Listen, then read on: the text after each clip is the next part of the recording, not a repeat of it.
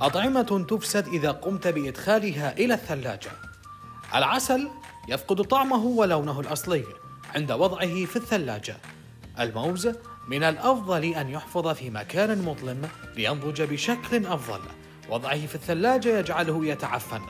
البطاطا الحلوة لا يجب الاحتفاظ بها في الثلاجة خصوصا إذا غسلت قبل تخزينها لمنع تسرب الرطوبة إليها.